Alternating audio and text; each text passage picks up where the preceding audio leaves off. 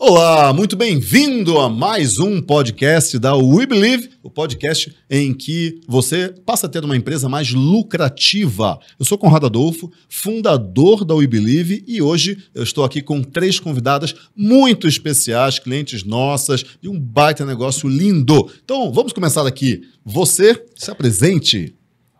Meu nome é Alessandra, eu faço parte da Massadoro. É, eu cuido de toda a produção da empresa. É, isso, a gente está muito feliz de estar aqui com você hoje. Imagina, feliz estou eu. Oi, Conrado. Eu sou a Cristina. É, sou uma das sócias da Massadoro. Estou muito honrada também de estar aqui participando hoje com você. É, e eu tomo conta da parte financeira da Massadoro. Tá bom. Você é a dona do dinheiro. Do... eu sou a chata do dinheiro, né? não, não tá de chata, não. Não fosse a Renata que cuida do dinheiro, a minha empresa tinha quebrado há muito tempo já. Então, essa, esse papel é importante. Isso. Meu nome é Lígia, eu sou sócia da Massadoro e a minha parte era o comercial. Legal. Você traz o dinheiro e ela cuida do dinheiro. E ela cuida do dinheiro. E você entrega aquilo que ela vendeu. Isso aí. É isso daí. Eu sempre falo que numa empresa tem, tem três grandes áreas, na verdade, quatro grandes áreas: o marketing e o comercial, que a gente pode colocar tudo como comercial, o financeiro e a operação. Então é isso. Se essas áreas estiverem equilibradas, a empresa roda, roda bem, dá lucro. Se tiver algum desequilíbrio, a empresa não roda. Então, me fala o seguinte: é, o que, que a amassadora faz? Então, vai lá, Alessandro, o que, que a amassadora faz? A amassadora ela faz massas artesanais. O foco é não ter conservantes e entregar para os nossos clientes a facilidade e a praticidade. Tá bom. Quer dizer, é, facilidade e praticidade, quer dizer, eu pego a massa, eu coloco numa panela com água e fica pronto. Ela, lembra que é um homem falando não. disso, tá? não sei fazer nossos, nem ovo, lembra disso. É, os nossos maiores clientes da loja é igualzinho a você, era que a gente explica, fica assim, eu vou virar um masterchef da família agora. Não, porque a nossa massa já vem pré-cozida. Então é Entendi. só soltar na travessa, tá. aquecer o molho, pôr em cima e forno 10 minutinhos. Meu Deus, eu vou virar um Masterchef. E aí, você, aí você abre seu vinho. Não tem que jogar na parede para saber se ela gruda. Nada, não tem. Nada. É isso daí. O nosso foco é esse, a praticidade para o dia a dia de todo mundo, que está muito corrido. E as pessoas querem essa praticidade. Então a gente focou neste caminho. Muito bom, muito bom. Então, e, então eu entendi. Tá. E para quem que vocês vendem? A Lígia que é o comercial. Quem é o público de vocês? Quem é que compra? A gente trabalha tanto com atacado quanto varejo. Então, nós temos clientes hospitais, bufês, empórios que fazem revenda da nossa massa. E nós também temos a nossa loja. Então, a gente vende para cliente final também. Isso em que cidade? Nós trabalhamos com a região de São José do Rio Preto, tá. no atacado, e a nossa loja também é em São José do Rio Preto. A gente tem um dos maiores clientes nossos no atacado, é a rede hoteleira de Olímpia. Tá bom. Que eles têm as águas termais e sim, consomem sim. bastante massa. E a gente tem uma loja bem bonita para atender os clientes finais também. Legal. E é, é, é considerada uma marca premium. Não sim, é uma marca sim. Só que, que com... no mercado, por exemplo. É, não é o isso. valor não é premium. A gente tenta deixar Me bem. É, a gente tenta não subir muito o valor, porque a gente quer alcançar mais público. Então. E quem disse que subir o valor faz alcançar menos público? Deixa eu explicar. Porque quando a gente está falando de um, de um celular, que pode custar, lá, 2 mil ou 6 mil reais, tudo bem. Quando a gente está falando de uma massa, qual é o ticket médio de vocês? 110 reais. 110. O que, que seria um valor alto? É... A massa mais cara que nós temos hoje na loja, para o cliente final, está em torno de 65 reais. Meio quilo. Meio quilo. Tá, para o cliente fi final. Então ele compra final, dois pacotes, um quilo, isso. por aí. É. Tá, mas o que, que seria um preço alto? Quando eu falo uma marca premium, mas o preço não é premium. O que, que seria um preço premium no mercado de vocês? Uma bandejinha a 110. Uma bandejinha de quanto? Meio De quilo. meio De que meio são quilo. Então, 500 gramas. sai de 65 para 110. Isso, Sim. isso. Tudo Com bem. recheios diferenciados. Tá. Nós temos quatro, quatro, né? Quatro recheios diferenciados. E com esse, com esse valor que a Cristina falou de, na, de 65, mais ou É, menos. esse é o maior valor, porque é um recheio diferenciado, que a gente é, coloca o camarão, então já é um produto mais caro. Tá Então, bom. o que, o- na verdade, o que diferencia os nossos produtos são os recheios. Porque a massa, ela acaba sendo a mesma. A maneira de Tá. enrolar, a Mas maneira ela não de. tem conservante, né? Isso. Não, Então não isso tem aí já conservante. diferencia Nenhuma ela massa já. tem Isso. conservante. Tá. Mas, por exemplo, o ravioli é uma maneira da massa, o rondelli é outra maneira. Então, o que, o que, que encarece a massa normalmente? Às vezes é o tempo de fazê-las e o recheio. Tá bom. Se for um recheio mais refinado, agrega mais valor. É o que Entendi. todo mundo bate com a gente assim. Nós não temos maquinário. É tudo manual. É manual. É. Artesanalidade. Isso. Artesanal, é o nosso nhoque, é, Conrado, é feito na mão, enroladinho. Nho- A gente fala que é nhoque da vovó. Cortadinho na faca. Entendeu? A massa, o ravioli tem as forminhas. A única massa nossa que sai numa máquina é a conquilha, que é uma conchinha. Tá bom. Aí ela e a Tá. gente vai rechear. Mas peraí, deixa eu, deixa eu entender uma coisa. Gente, vocês estão falando que vocês têm uma marca sem conservantes, com recheios especiais, totalmente artesanal. Isso. Vocês são uma marca premium, ponto. Legal.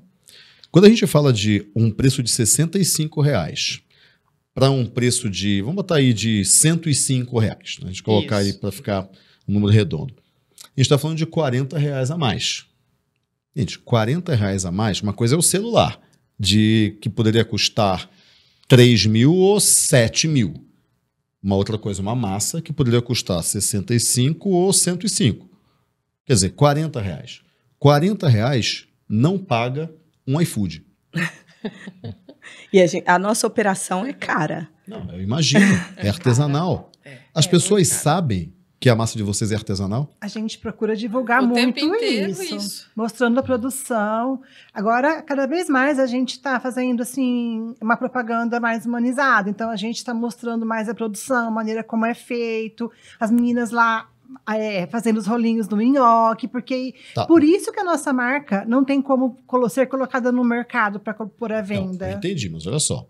Se você perguntar para 100 clientes seus, e não é o cliente fiel que conhece vocês, que compra há cinco anos, não, não é isso. É o cliente que comprou ontem, o cliente que comprou semana passada, comprou duas vezes, que é a massa, né? As pessoas compram menos vezes. Se você perguntar para 100 clientes que comprou uma, duas vezes, eles sabem que a massa é artesanal? Sabe? Alguns sabem. muitos sabem. Sabem. Muitos Muitos sabem, sabem, porque eles inclusive comentam da diferença do sabor. Legal. E eles sabem que as outras marcas mais baratas não são artesanais? Eu acredito que sim, porque eles depois que eles voltam, eles falam, é um gosto é muito diferente. Depois que eles voltam. Isso. Sim. Mas será que antes deles comprarem, eles sabem? Por que eu tô perguntando isso? Tá. Porque quando você falou para mim, a marca é artesanal, é, é feita ali, um a um. Eu comecei a pensar, nossa, é verdade, né? As outras massas, será que elas não são artesanais então? É, Elas não devem ser, né? Porque vende muito e tal. Mas eu nunca parei para pensar nisso. Algumas até são. São José do Rio Preto é, tem concorrência. Lá são, eu acho que ao todo são oito fábricas. Tá. E algumas delas também têm uma produção artesanal de alguns produtos e de outros não. Por exemplo, o nhoque, que é um produto que leva tempo, que dá trabalho, tem que ter força no braço para amassar. Ele, a nossa ainda é a única que faz artesanalmente. As outras são feitas com fécula de batata e na máquina, na nhoqueira. Tá bom. E a nossa, a gente descasca, cozinha a batata, descasca a batata, moe a batata. Então, realmente, é aquele processo como se, como se estivesse fazendo em casa. Qual é a margem de vocês? A nossa margem, no atacado, a gente tenta manter nos 20%, Tá. mas nem, nem todos os produtos nós conseguimos. É, é de 20% para baixo. Tá bom. Na loja, nós tentamos manter uma média de 30% Tá bom. na loja. Vamos pensar o seguinte: marcas que têm artesanalidade, Aliás, vocês devem acompanhar a Cláudia. Sim. Lógico. Mercado de luxo. Sim, sim, sim. E artesanalidade é um dos critérios de uma marca de luxo. Isso. E artesanalidade, sendo um critério de uma marca de luxo, já eleva muito o valor é, percebido da marca e isso aumenta muito a margem também.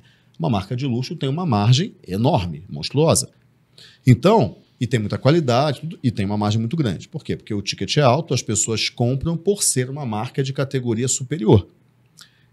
Então, o que eu vejo é: vocês têm uma marca de categoria superior e vocês precificam, ou vocês têm uma marca de alto padrão e vocês precificam um pouco acima da média. Ou seja, vocês poderiam ter uma marca, uma margem maior e engana-se. é, vocês, vocês se enganam quando vocês falam que a gente quer ganhar mercado, por isso que a gente vende mais barato. Hum. Vamos entender o seguinte: quanto que custa um macarrão, sei lá, Adria, no supermercado? Uns quatro, Quatro reais. reais. Quatro reais. Vocês comprariam um macarrão de quatro reais? Vocês que conhecem macarrão? Não, Não. Para comer, pra, normalmente, assim? Não. Vocês não são público para um macarrão de quatro reais. Entenderam? Então, você- o que vocês estão percebendo é o seguinte: vocês estão pensando o seguinte: bom, todo mundo é o mesmo público, é um público só. Se a gente abaixa o preço, a gente pega mais público. Não. Quando vocês aumentam ou abaixam o preço, vocês pegam uma faixa de público. E aquela faixa ela é limitada. A quantidade de pessoas que compram macarrão de 4 reais é limitada. E a quantidade de pessoas que compram macarrão de 200 reais também é limitada. Entendeu? Só que aqui nos 4 reais tem muitas marcas e aqui nos 200 tem pouquíssimas. Então não é a questão de se a gente abaixa o preço, a gente aumenta é, a quantidade de público. Até certa medida, isso faz sentido, mas faz sentido dentro de uma faixa de público. E vocês estão numa faixa de público que eu tenho certeza que tranquilamente comprariam de 65 por 85. Tanto que o reconhecimento é, dos nossos concorrentes foi meio complicado, assim, que no começo a gente achava que eram todos eles. Aí eu comecei a comprar massa, comprar massa, comprar massa, experimentar a massa de todo mundo. Aí eu falei, não, esse não é, esse não é, Isso. esse não é. Essas pessoas não são nossos concorrentes, eles têm um público deles, nós temos o nosso. Aí só que acho que nós, como a Massa Doro já tem 20 anos, Tá, conosco ela tem 5 anos. tá. A gente comprou esse medo do preço, assim, a gente veio no pacote, assim, todo mundo lá tem medo de subir os valores, assim. Às vezes o pessoal da revenda que tem comércios maiores que os nossos conseguem colocar um valor maior na nossa massa, eu passo, eu falo, meu Deus, o que a gente faz de errado? Se eles estão conseguindo vender com um valor maior e a margem deles nem seria a mesma da nossa, porque nós somos os produtores, o que, que a gente está esperando, né? Mas mesmo assim a gente é amarrada com o preço. Semana passada nós tivemos que fazer um reajuste na nossa tabela da loja e do atacado. Tá. Mas é, é o que a Lígia falou, a gente faz com receio, para não assustar o mercado, para não assustar os nossos clientes, porque é, sim, existem que- as pessoas que vão à loja, que já sabem o valor, que Essas daí Nem, percebem. perguntam isso. É, então, então é isso. A gente tem um pouco de receio, sim, na Eu hora de acho subir. que a gente, no fundo, no fundo, nós somos três medrosos. Não, vocês não são medrosos, porque ninguém Não. que é medroso monta um Não, eu negócio sei, ou mas assim, pega um negócio para alavancar. Isso, mas eu- no fundo a gente fica assim, ai meu Deus, se a gente levar esse preço que tem que levar, nós vamos continuar? Vai dar A certo? gente tem medo de não ser conhecida na região, a gente tem medo, a gente fala, nossa, a gente precisa ficar um Deixa eu pouco um mais negócio. conhecida. perguntar um negócio. Vocês já chegaram no supermercado, sei lá, e compraram algum produto que vocês não conheciam a marca?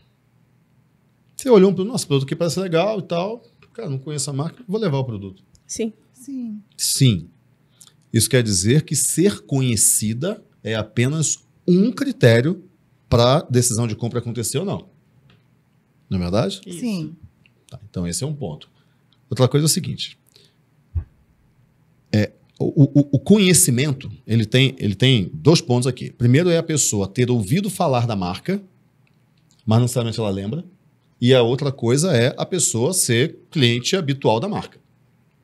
Ok, isso aí é um número minúsculo. Mas quando a pessoa não ouviu falar da marca, ou ouviu falar, mas também não lembra, o que, que ela vai perceber? O que que ela- quais são os critérios que ela vai usar para saber se a marca é boa ou não e se vale aquele preço ou não? Onde a marca está sendo vendida, a embalagem, o que está escrito na embalagem, o logo, aí de repente tem lá, ela vai ler atrás, ela vai analisar a marca. Aquilo ali já é suficiente para ela conhecer para comprar um produto de que custa menos de 100 reais. Gente, 100 reais. Menos de 100 reais. E olha, eu falo que o nosso ponto forte é o, o colocar na boca. Porque todas as vezes que a pessoa, que ela, a gente foi convidado para uma degustação e era numa loja de móveis. Achei super estranho, mas falei, vamos. Aí a, a gerente falou, tragam um freezer e tragam umas massas para vocês venderem. Falei, ah, vamos levar, né? Estamos perdendo nada. Foi o grande erro foi ter levado pouco. Porque a pessoa colocava a na boca degustação, a gente nem acreditava. Eu falei, meu Deus, o que, que é isso, né? Assim, da- a degustação e a pessoa já levava, assim. Subia o perfume, o nosso molho é muito atrativo, porque é feito de Gente. tomate. Então, é puro tomate, E eu tô vendo um manjericão. negócio que vocês não estão conseguindo ver. é, geralmente é isso que acontece. As pessoas igual. Tem umas. Uns três, umas três pessoas que falam, gente, por quê? Isso daí. Vão, arrisca, pelo amor de Deus, sai dessa zona de conforto, desse medo. Vocês estão com a faca e o queijo. É, a gente, o, o principal que eu acho, a gente não tem preguiça. A gente já ficou trabalhando até uma da manhã, indo embora, voltava às seis. Isso aí. Ok, vida do, do empreendedor. E, e, e, e erguemos, tava lá embaixo e vamos, vamos entregar 500 toneladas por semana. Tava lá embaixo, vocês reergueram a empresa, é isso? É. E você tem a coragem de me falar que você é medrosa. Eu sou a mais. elas, elas me mudaram bastante. Não Ah, mas eu vejo o seguinte: o que, que eu estou enxergando aqui? Vocês têm alguns, a- alguns elementos que fazem com que a sua marca tenha um valor percebido muito maior do que o preço que vocês cobram. Já ouviram uma frase? Às vezes tem uma frase que eu falo que é: se tem fila na porta, é porque o produto está barato. Se a taxa de conversão é muito alta, as pessoas adoram, voltam para comprar, é porque o preço está errado. O preço está baixo demais. Não tem resistência, não tem fricção. Pessoa olha, prova, nossa, muito boa, deixa eu levar, pronto. A loja de imóveis que o erro foi ter levado pouca. A questão é que vocês estão com um preço que eu tenho certeza absoluta, pelo pouco que vocês me falaram, que está muito aquém do valor percebido que o mercado tem em vocês. Depois de um ano, a gente subiu dois reais. Nossa, vocês, vocês não venceram nem a inflação. tá? Arrasamos. Vocês não venceram nem a inflação, vai por mim. Ah, nós passamos agora essa semana por um, um episódio muito legal, que foi do nosso consultor. Legal. Ele- do Outlier, né? Consultor do Outlier. tá? Ele falou, gente, faz uma live. Falei, live de massa? Pensei, tá, Gente, estranho, mas vamos fazer. Aí ele falou, faz uma live curta, chama alguém que saiba se comunicar bem e tem uma... A gente tem várias parcerias com influencers, com o pessoal Ah. do marketing. Aí chamamos uma repórter, fala muito bem e tal. Durou uma hora e foi muito legal. Foi um sucesso. assim, muito legal. É, eu vou falar aqui, você que está assistindo ou ouvindo a gente aqui no podcast, eu vou falar um negócio. Compra bastante agora, tá? Porque tá barato, tá? Porque em breve o preço vai aumentar, tá?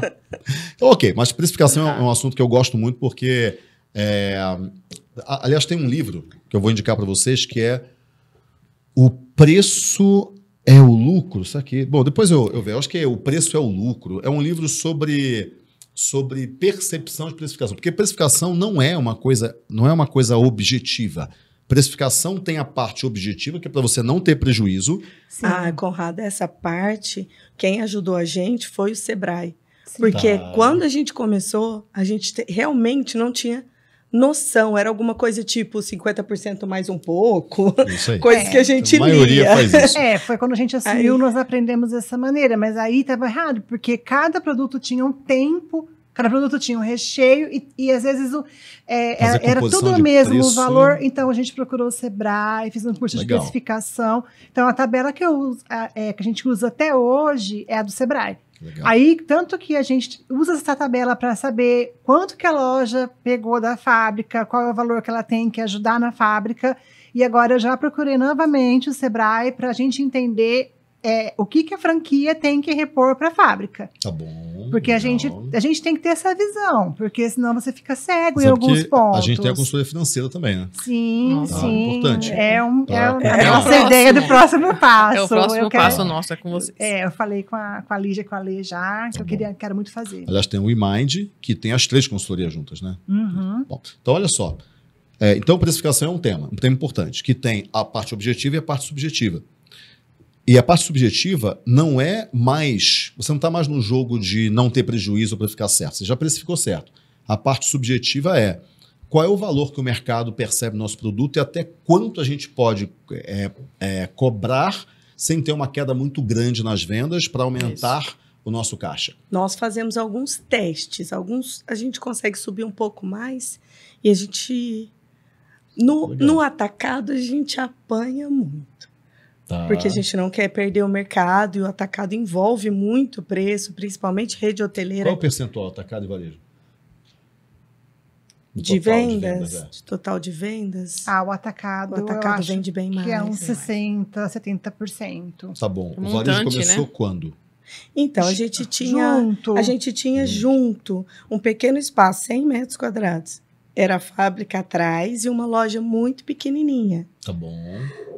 De repente, a gente viu que tinha um potencial, a gente podia melhorar essa loja e a gente conseguiu um espaço maior para a fábrica, Tá que bom. tinha uma antiga fábrica em Rio Preto, que ela parou o funcionamento. Então, quando a gente entrou, tinha tudo organizado, espaço para os tanques, câmera fria certinho. Porque no começo, a gente começou armazenando em freezer. E é uma tortura, porque você produz, vende, produz, vende. Você só pode produzir depois que você vende. Verdade. Aí não tinha, você fica patinando, trabalha até altas horas. Quando a gente comprou a Amassadora, o equipamento era bem usado. Vocês compraram a empresa. Nós Com- compramos. Compraram. Entendi. O equipamento era bem usado. Aí a gente conseguiu clientes maiores. Peraí, deixa eu entender. Volta na parte do compraram. Por que, que vocês resolveram comprar uma fábrica de massas?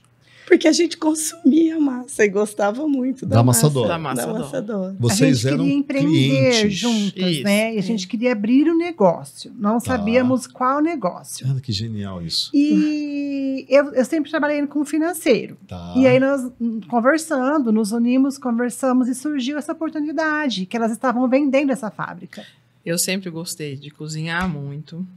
A Lígia, ela não gosta de conversar, sabe? Que ela falou isso, você percebeu? ela é comercial. E a gente se conheceu através das filhas, na escola. Tá. Então se tornou uma amizade bem legal. E aí, vamos empreender? Vamos, vamos, vamos. No quê? Eu falei, ah, eu só iria se fosse comida. Aí elas mudaram para estética na época. Aí eu falei, ah, tô fora, não dá, tal. Bom, resumindo, compramos a massa, eu fui buscar o nhoque. E a antiga proprietária pegou e falou, ah, Alessandra, eu tô tentando vender a massa. Eu falei, mas por quê? Ah, não, a gente já tá cansada, já formou os filhos. É, você não conhece alguém que quer comprar amassadora? Eu falei, conheço. Conheço, tenho duas amigas, eu não. Conheço duas amigas que estão loucas para abrir um negócio. Eu vou trazer elas aqui. E aí, ligou, eu falei, você tá maluca? Eu não vou entrar numa cozinha sem você. Eu falei, você é a que mais cozinha das três. Como que a gente abre uma sociedade sem saber o que a gente vai fazer? Vamos apanhar lá dentro. Aí ela, não, não, resistindo, resistindo. Muito bom. Aí eu falei, você sempre reclamou que você queria uma independência. É isso que a gente quer. A gente quer. Mas foi legal porque nós compramos, né? Assumimos, e, e que nem ele já falou, a loja era na frente e a gente achava que era ótimo o espaço que a gente tinha alugado. Porque gente, nós não tínhamos noção do que tinha realmente que ter numa fábrica de massas. Aí, aí a gente começou a ver os problemas, porque a Lígia começou a sair, vender, oferecer ganhamos vários no- é, clientes, né? E começaram a chegar pedidos grandes. Sabe Então a gente não falavam? tinha câmara fria. Para, de, Para de vender, vender. bicho. Eu falava, isso é um absurdo. Porque- Tem que parar de vender. Aí nós começamos a ver, tem que ter câmara fria, tem que ter organização, porque a gente ven- é, fazia o que estava vendido, fazia o que estava vendido. Não, a gente tem que ter estoque para atender as vendas. Nisso começou. Aí veio a pandemia.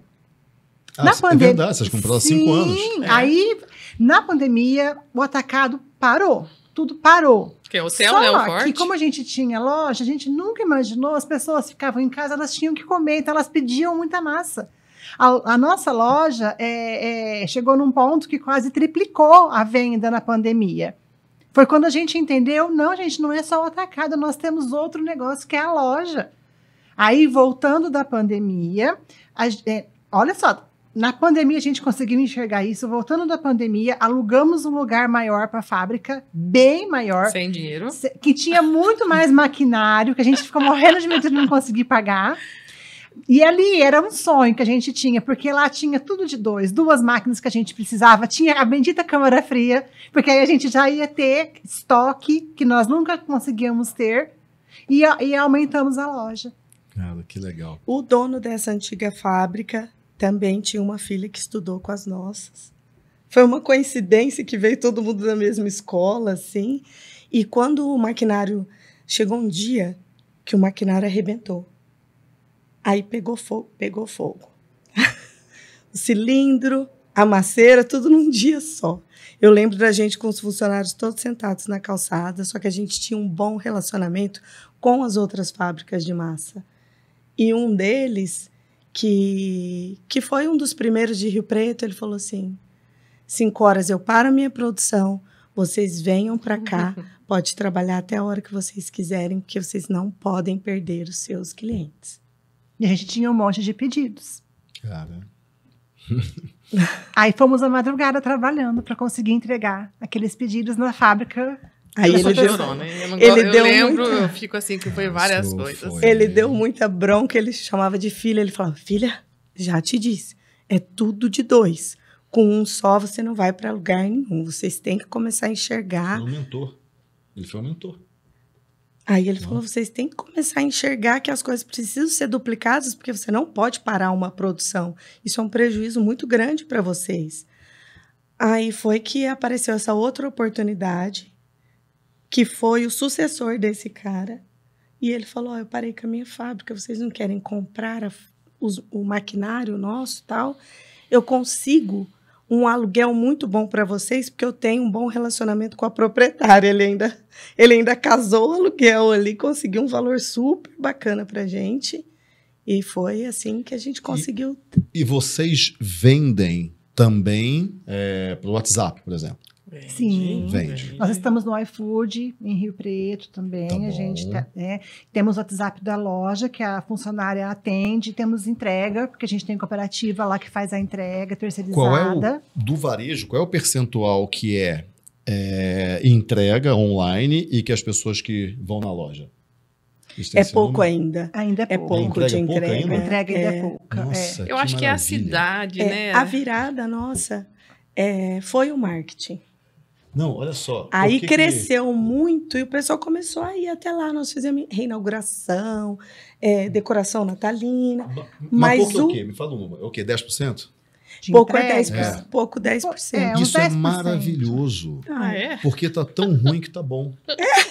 A gente achou, Porque- a gente sempre fala, não, a gente tem que investir na entrega. Tem é pessoas. isso. Tá tão ruim que tá bom, porque qualquer coisa que vocês façam, esse 10% vira 50%. Qualquer coisa. Porque pensa o seguinte: o varejo de vocês vai crescer muito. Olha só. É, primeira coisa é o para a pessoa ir na loja, ela tem que lembrar de vocês, ela tem que pegar o carro dela, ela tem que ter esse tempo, ela tem que se dispor a ir até a loja, ela vai lá e faz a compra. Isso. Só que ela não faz isso a cada dois, três dias. Ela faz isso uma vez a cada duas semanas. Isso se ela for muito Consumidores é, de massa. muito consumidora. Mas imagina que se ao invés dela lembrar de você, você lembre a ela de- sobre a massa. Já eliminou aí um monte de pessoas que não lembraram de você. É, nós temos 3 mil clientes cadastrados que a gente Nossa manda Senhora. propaganda para eles. Um negócio no meu coração aqui. então vamos lá. Imagina se ao invés da pessoa, ela até lembrou, ela falou: ah, mas tá chovendo. Putz, você leve até ela o produto. E terceiro, imagina que ela até queira ir. Ela fala: putz, agora eu não tenho tempo, vou depois. Você leve e elimine esse tempo que ela vai, ela vai gastar. E a única coisa que ela tem que fazer é uma simples mensagem no WhatsApp pedindo por aquela mesma massa maravilhosa que fez a alegria da família dela na semana passada. É, ó, os clientes que compram pelo WhatsApp, que a gente tem uma cooperativa de entrega, né? Hum. Que trabalha com a gente. Os clientes que compram pelo WhatsApp, eles compram uma quantidade muito maior. mesmo. Sempre. Sempre, É muito maior. Por exemplo, Você é... compra na Amazon? não. Tá. O Mercado Livre. que seja. Eu, eu gosto. é, é, assim, tem tem o grupo do Mercado Livre tem o grupo da Amazon. Eu compro muito na Amazon. Porque meu cartão já está lá, é um clique, etc. o meu ticket médio na Amazon é muito maior do que quando eu vou no shopping. Mas é muito maior. Então, o, o, o ticket médio do online geralmente é maior do que o ticket médio da loja. Eu sou consumidora fortíssima do iFood. Então eu falo, as pessoas pedem mesmo. A gente tem que investir mais nisso, Isso, tem que achar o canal, Mas porque o lance iFood, legal, mas usem o iFood para vocês ganharem clientes novos. Mas tragam esses clientes para o WhatsApp, sim. porque o iFood vira sócio da empresa. É, aí. não. Né? O que eu quis dizer assim é a facilidade de você ter o cartão lá, Sim, tal. Isso, isso, isso, é isso aí, é isso aí. Mas, mas olha só, imagina o seguinte: vocês vendem pelo iFood. Ah, o que, que vocês fazem com os clientes que compram de vocês pelo iFood? A gente manda na sacola nosso cardápio, nosso cartão de contato. E funciona? Funciona, Muitas vezes funciona. Mas eles voltam pelo WhatsApp. Pelo Pelo WhatsApp. WhatsApp, porque Tá a gente coloca todo, no- é, todo o nosso contato, inclusive um cardápio Legal. maior, que tem coisas que não estão no iFood. Exatamente. Essa é a estratégia. Transformar o iFood numa fonte de tráfego. Sim. Sim. Isso. E os 3 mil clientes cadastrados no WhatsApp, vocês fazem o que com eles? A gente manda mensagem semanal, a gente manda é, promoção. A Novidades. gente tem. Quando, quando a gente fez Sim, a imersão, Tá. que você falava cuidado com as promoções, a gente falava, putz, a gente acostumou os nossos clientes a ter toda semana promoção. Então eles esperam, a gente põe cartazinho lá fora, então vem promoção da semana. Aí eles mandam assim, eu falei, vamos diminuir essa promoção para tentar ver se a gente consegue melhorar os preços e tal. Qual é a promoção da semana? Não, tudo bem, mas você pode colocar promoção semana, um produto tem um ticket maior. Sim. não um Isso. produto baratinho que já está em promoção. É. Não, e a gente dava, a promoção era muito boa. Aí eu falei, vamos com calma na promoção. Mas a promoção da semana, a intenção é assim: a pessoa vai até a loja, é claro, buscar a promoção da semana, mas acaba pegando uma torta, um Isso, molho. isso, então isso, ela vai isso. aumentando o ticket, né? Ela não vai. Normalmente ela não pega só a promoção. Então a pessoa, ah, eu vou pedir a promoção da semana. Ah, peraí, mas você tem aquela torta que eu gosto? Então a intenção é essa, é, tra- é trazer o cliente. Vocês têm uma equipe comercial de WhatsApp? Nós temos só uma funcionária na loja de WhatsApp, nós que ajudamos ela em algumas coisas. E ela faz só o WhatsApp ou ela faz outras coisas? Outras coisas. Então, gente, com 3 mil clientes cadastrados, qual é o ticket médio do WhatsApp no varejo? Do WhatsApp é maior, compra no WhatsApp. É, acho que é uns Uns 200. 200, 200 reais. 230 reais, eu acho que é. Coisa linda. Então, 200 reais é o ticket médio do WhatsApp. 3 mil clientes cadastrados. Vamos fazer uma conta. Digamos que desses 3 mil clientes, só mil comprem de vocês. Só que esses mil, eles compram, se você fizer um ativo, a cada. Vamos botar aí a cada duas semanas? Isso. Cada duas semanas? Então, vou botar aqui. Então, esses mil, eles vão comprar a cada 15 dias. Vou dividir por 15 aqui. Então, você vai ter 66 vendas por dia. Se esses clientes. Eu estou botando sábado e domingo aqui também, a cada 15 dias. Vezes 200 reais, só no WhatsApp você está falando de 13.333 reais todo dia. Todo dia. Tá? Todo dia. Todo santo dia. Quanto que é o salário de uma vendedora que fique o dia inteiro no WhatsApp abordando esses clientes e não só fazendo promoção, mas conversando, que tem uma carteira de clientes ali. Quanto que é o salário? É, sem as taxas, uns 1.900 e alguma coisa. 1.900 reais. Então imagina o seguinte, imagina que você tenha 1.900 reais numa vendedora de WhatsApp para que ela, ela não vai conseguir atender mil clientes, mas ela consegue atender uns 300, 400 clientes. Você vai precisar de três vendedoras, vai. Vou botar aí 2.500 reais. Então, vamos botar aí 3 mil reais com encargo, com brinde, com prêmio, com tudo. Vamos botar aí 10 mil reais que você gasta nas três vendedoras. São 10 mil reais para que essas vendedoras, mês, para que elas vendam 13 mil reais por dia. Fazendo 66 vendas de 200 reais. Todo santo dia. E a cada 15 dias a pessoa volta a comprar. Entendeu? E acho, acho que é possível mesmo, assim. É só É possível. a gente a gente começou a entender o que era CRM depois do Tranquilo, é assim mesmo. É, é a- porque meu marido é médico, CRM para mim é é Conselho outra Regional de coisa. Tudo bem, é outra coisa. Mas agora vocês já entenderam. Aí eu falei, nossa, que coisa, eu achei lindo. Falei, dá para você fazer as campanhas direcionadas para o pessoal outra coisa, certo. pensa o seguinte: se o ticket médio é 200 reais, isso quer dizer que tem gente que compra 500. E Tem, tem tem, gente que tem. compra 50. Tem. Tem. Tem. Então. É a média, né? Tem. Exatamente. Essas pessoas que compram 500 reais, lá na matriz RFV, eles são os clientes campeões.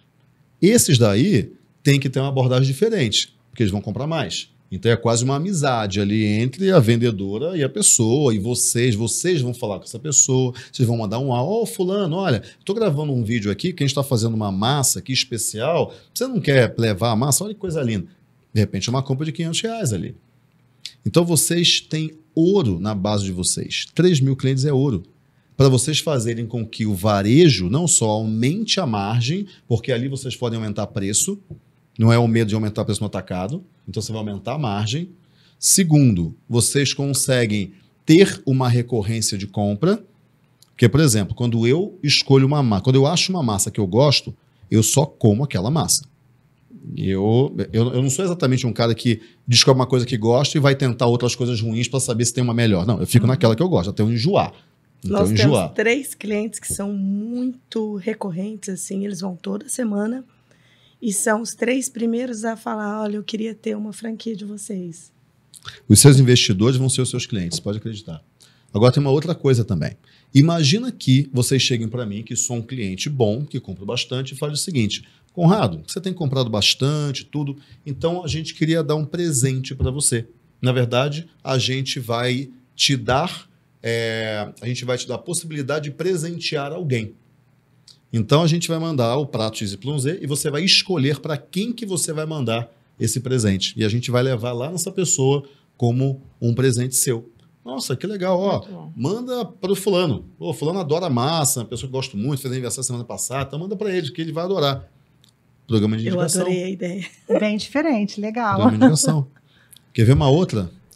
É, você vai você vai mandar esse presente para a pessoa em nome do fulano e aí uma vez que a pessoa receba vocês vão ligar olha o fulano mandou para você o presente o Conrado te mandou e tal você gostou né? gostei sim então olha só para você já já é um cliente nosso para a primeira compra de um cliente nosso a gente tem uma promoção aí você faz promoção porque é para você gerar a segunda vez. E aí é a primeira compra, na verdade.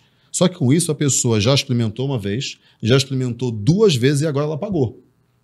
Ela virou um cliente.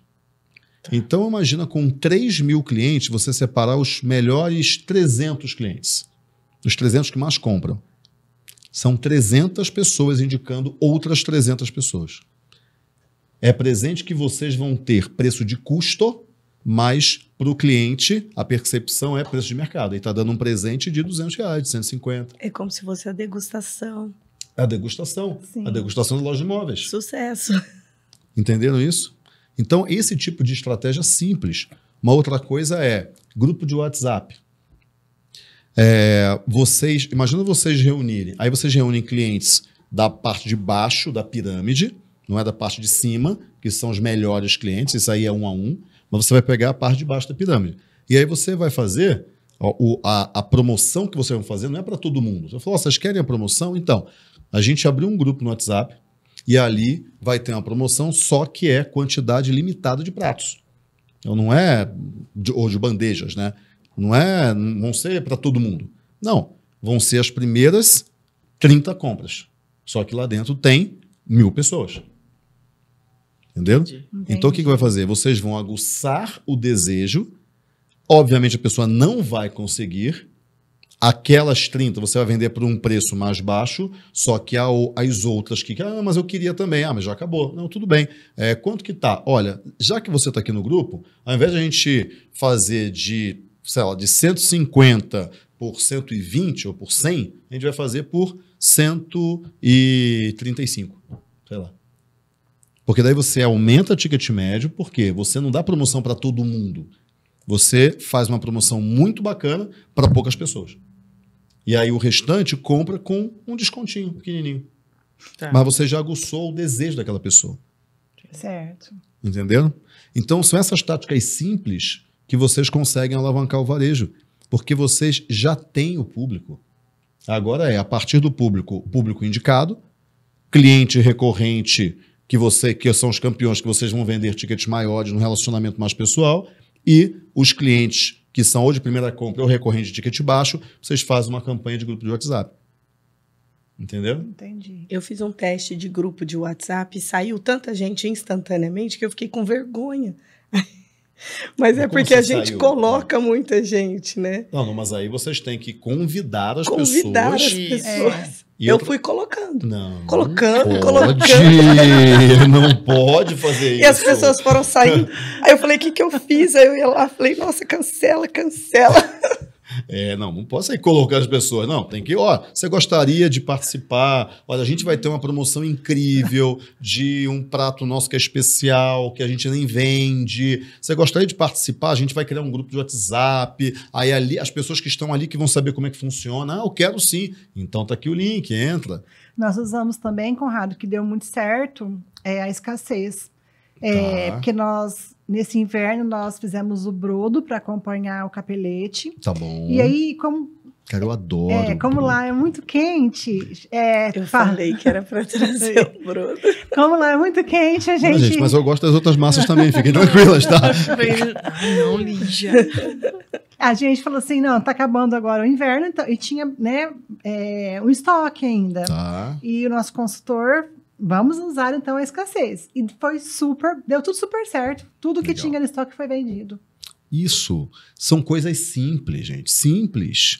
E o WhatsApp, coloca foco no WhatsApp. As pessoas já conhecem, vocês têm uma base gigantesca de clientes.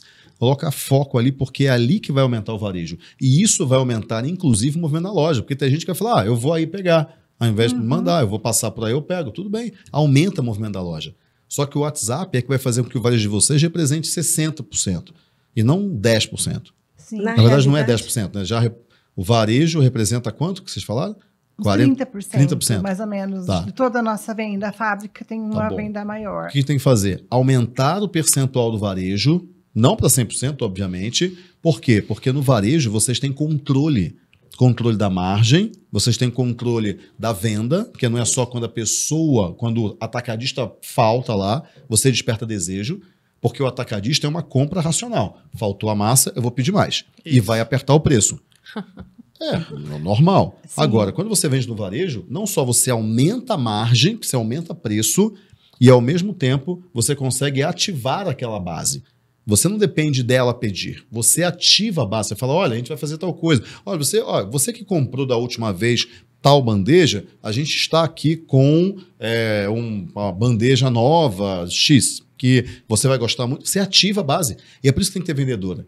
Porque a vendedora ela vai ter uma base de clientes dela, comercial 2, que ela vai ficar vendendo continuamente para aquela base. Inclusive, o pessoal que comprou na live, muitas pessoas não quiseram entrega, quiseram ir na, live, é, na, Na loja loja. para retirar os produtos. É, estando na loja, tinha pessoas que não conheciam. Elas acabaram comprando mais produtos que já Isso. não eram o Legal. valor da live, era o valor da loja mesmo, que na live é, tiveram várias, vários produtos em promoção. e conheceram outras coisas também. Legal. Então foi bem legal. Olha, Outra coisa, vocês vendem é, no varejo, vocês entregam para qual raio ali em torno de vocês? Ah, hoje tá 100 quilômetros. não é? Tá, então é mais do que a cidade. Isso. Na- no varejo, não. No na loja, No varejo. Ah, não, que- não, entrega, WhatsApp, que a pessoa compra Ah, o WhatsApp. tá. Não, é não. na cidade, Na cidade. e algumas cidades, cidades perto. Por exemplo, dormitórios, que tem umas cidades é, Mirassol, menores, por né? exemplo, é bem pertinho. A gente consegue fazer entrega ali, porque os motoqueiros vão até lá. Tá bom.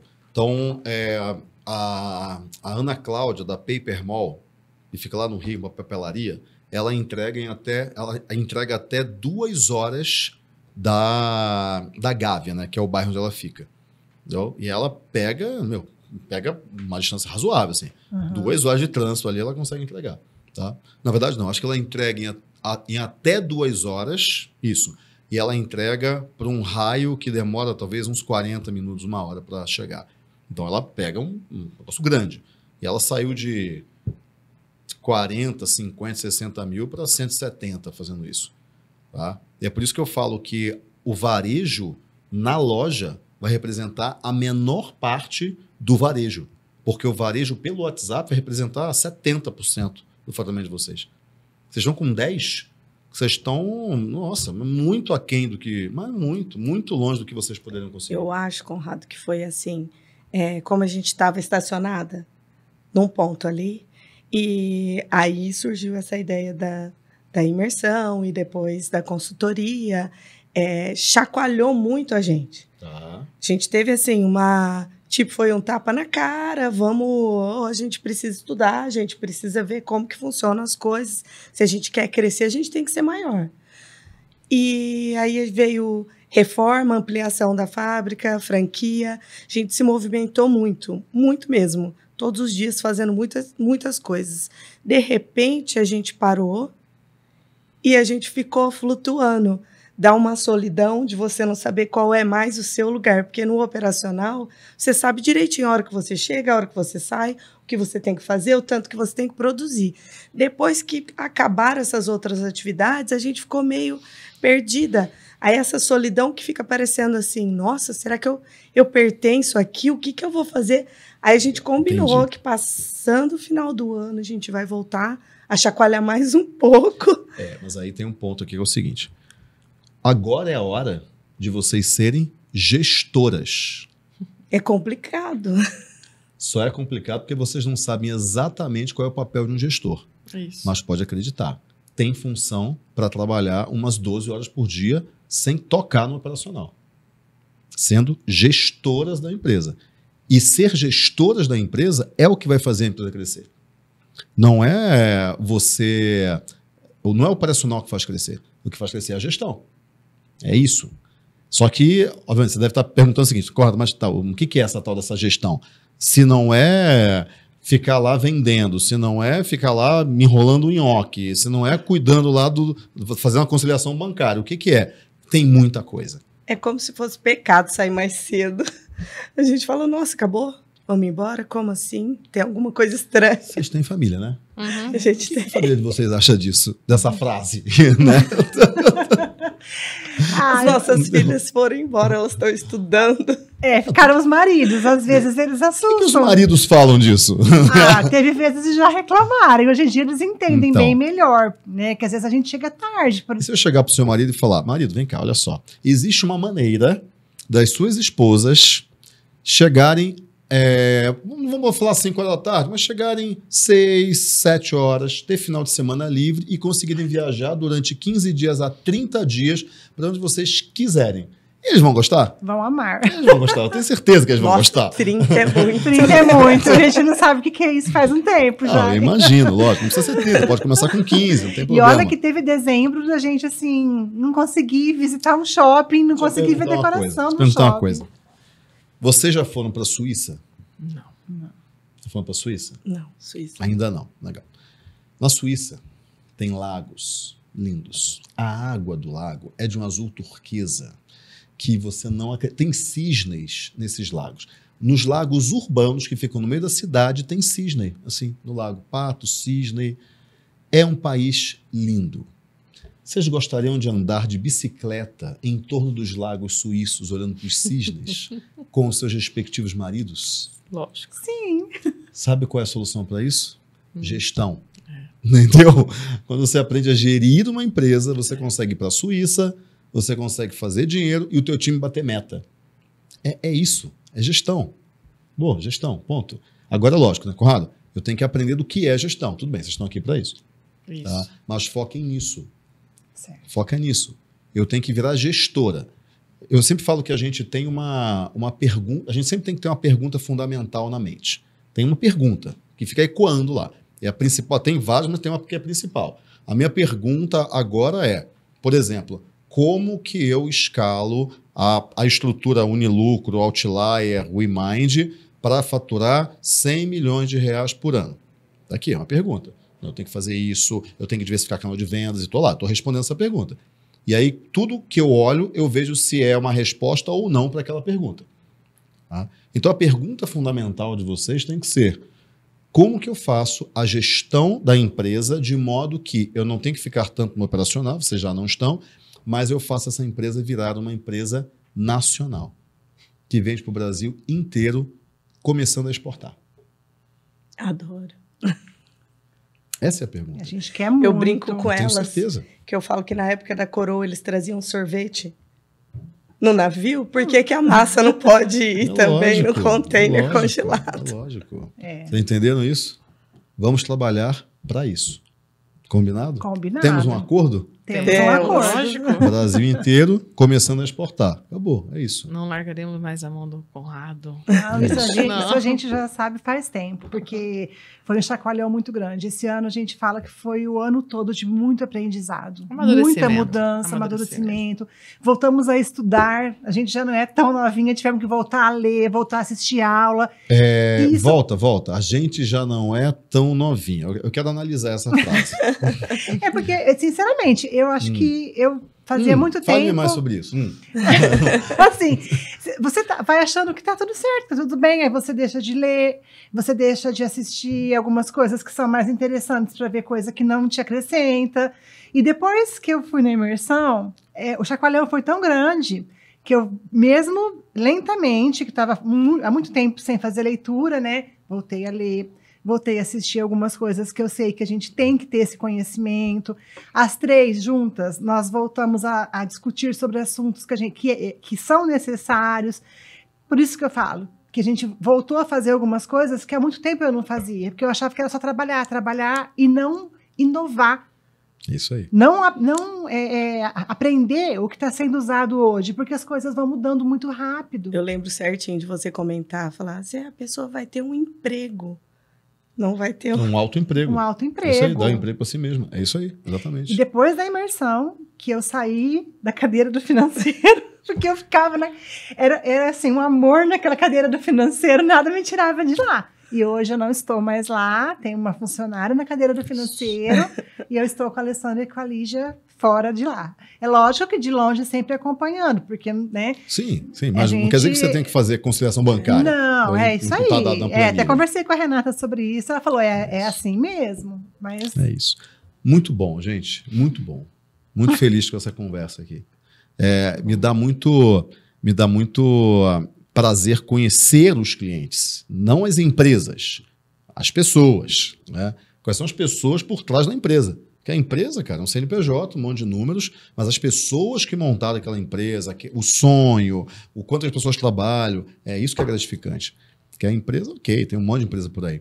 Muito bom, muito feliz. É, e você tem, tem assim, a nítida noção do que a gente era antes de conhecer você.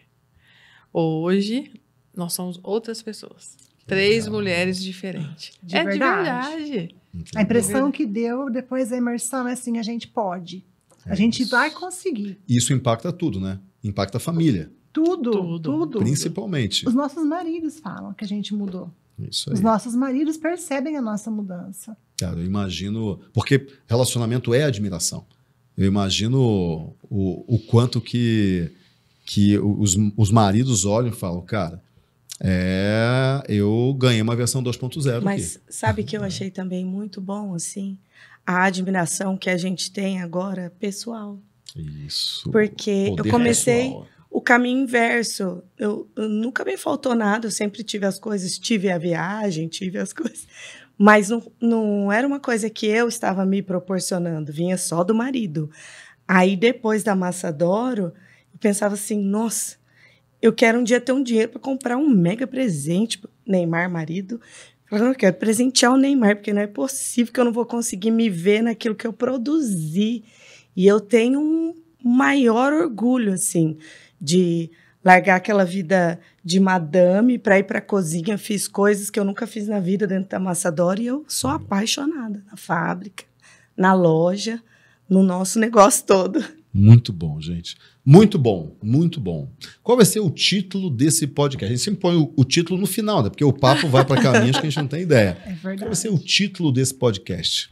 Fala aí, Lígia. Escalada, Não, escalada é muito genérico. conquista. Pensa na pessoa que vai olhar e falar assim, cara, eu quero saber é, dessa história aqui. Ah, três, três amigas e uma fábrica de massas. Tá ótimo. Adorei. Adorei. Muito bom. Três amigas É e uma isso aí. fábrica de massas. Três amigas e uma fábrica de É massa. simples Tipo, parece nome de filme, né? Assim. três Mas é- amigas é e uma isso aí fábrica de é Tipo, simples. três homens e um Isso. segredo. É, é, Isso isso é. aí, é isso aí. Três amigas e um negócio. Três amigas e uma fábrica de massas. Legal. E o que vocês trouxeram? Tô vendo essa bolsa maravilhosa aqui. Me falem. É o sonho de consumo de todo mundo. é nosso presente para você conhecer realmente o coração da Amassadoro. Muito obrigado, tá? Muito obrigado. Tá aí dentro as massas, o Vou molho. abrir aqui, vou abrir, vou abrir, vamos ver, vamos ver. Olha só, bolsa térmica. Faz, obrigado, faça um jantar pra Cláudia hoje, tá? É, agora que eu virei Masterchef. Isso! É o molho A Cláudia vai te pesto. achar um que Masterchef, legal, viu, Conrado? gente, olha que legal. Aqui o molho. Muito bacana a massa. Massa De espinafre. Não é corante, é espinafre. espinafre. Com recheio de ricota e nozes. Esse daqui. Decorado com Decorado salsa. com Coroco. Que legal, muito obrigado, hein? Molho Parece recebidos, né? Molho- É. Esse é o molho branco. Molho branco. E o famoso molho ao sugo, que é o tomatinho puro. Nossa, Puro, molho tomate. Muito legal. Muito obrigado. Adorei, adorei. Obrigado. Obrigado, muito obrigado. Muito obrigado mesmo. A Cláudia vai gostar. vai gostar. Ela adora massa. Eu também, né? A gente adora massa. Que bom. Não esqueça de falar que não tem que pôr na água, tá? É Não, não tem que pôr na Não, água. É não. só esquentar. Só, só No- Solta na travessa, molho em cima e forno. Solta na travessa. Tem instrução? Tem. Tá bom. Tem. Ok, eu preciso disso. Tá- eu preciso disso. Muito obrigado, tá? Obrigado. Deixa linda. Obrigado. Muito Bom, obrigada. Muito obrigado mesmo, gente. Então é isso. Chegamos aqui ao final do nosso podcast We Believe. Muito obrigado. Obrigado pela sua audiência. E a gente se vê na próxima. Fiquem em paz. Tchau.